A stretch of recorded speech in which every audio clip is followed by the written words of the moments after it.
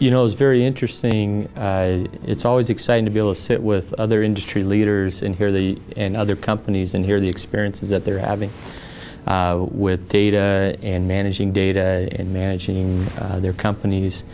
to provide better services for their customers. And one of the key takeaways I had uh, was you could see common themes around the importance around people and hiring the right people and having the right people uh,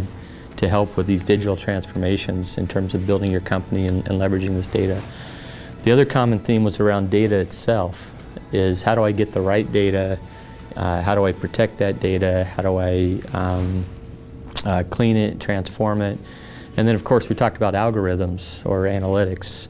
and the role that that plays in being able to unlock the value of that data. And there was a common theme that within companies there's a need to be able to break across different silos and not just think in terms of functional areas, but think about the enterprise and that one customer. And so it was interesting to hear the different stories from different uh, uh, company executives that were here talking about how they are working across